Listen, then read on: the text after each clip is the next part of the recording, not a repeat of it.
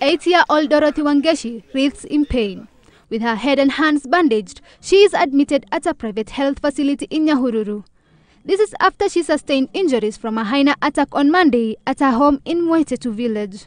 According to her son Paul Kingori, the elderly woman was grazing her cattle when the incident occurred. Kwa sababu yeye hana nguvu, anatembea na kijiti, miguu yake ako na shida za mwili wake, ikamkuta hapo nyumbani, ikamwangusha, ikamlalua. Ilikuwa inataka kushika tu koo, lakini tu kwa uwezo wa Mungu, Mungu aka, aka, akafanya malaika wake wakaja wakamsaidia. Her distressed call saw residents respond and rescue her from the marauding animal. Baadaye watu walikuja wakatafuta fisi wakamuua, alafu wakamshona wakamshoma, alafu nasi sisi tukampeleka mama hospitalini. The hyena is also said to have attacked one other villager who was part of the rescue team before they killed the animal.